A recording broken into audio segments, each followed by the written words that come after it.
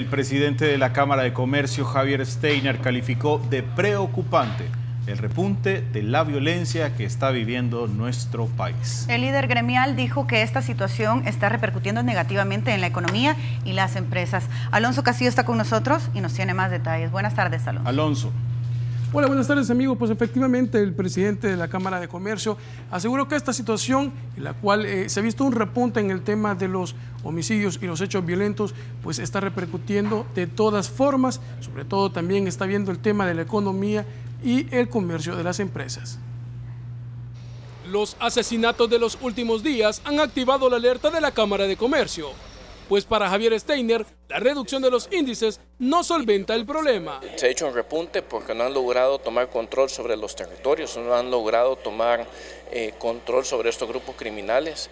Eh, y yo quiero aclarar, el control no significa tregua. Para él, el gobierno debe buscar una solución integral. Lo que se busca es eliminar el problema de, raíz. Lo que se busca es que tomen nuevamente control las autoridades de todas las áreas de este país. Hay colonias donde no se puede ni entrar, en donde haya un control territorial permanente de nuestras autoridades. Incluso advirtió del cierre de empresas debido a la insostenibilidad económica y el peligro que enfrentan todos los días. Vemos todas las semanas empresas eh, que tienen que retirarse de su membresía por cierre de operaciones porque ya no pueden con el costo eh, tanto por seguridad o por la baja económica que ha tenido el país, u otras precisamente porque están cerrando por el tema de seguridad. El líder empresarial llamó a las autoridades a buscar una pronta solución para lo que incluso recordó que como gremial ya han entregado propuestas.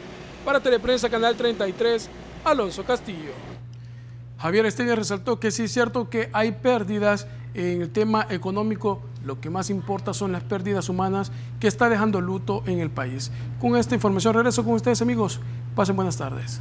Sin lugar a dudas, Alonso, al final se trata de bajar todos los índices delincuenciales y no únicamente el tema de los homicidios, que este sin lugar a dudas también representa eh, un golpe directo a la familia salvadoreña, como bien lo decía el presidente de la Cámara de Comercio. Gracias por los detalles. Buenas tardes.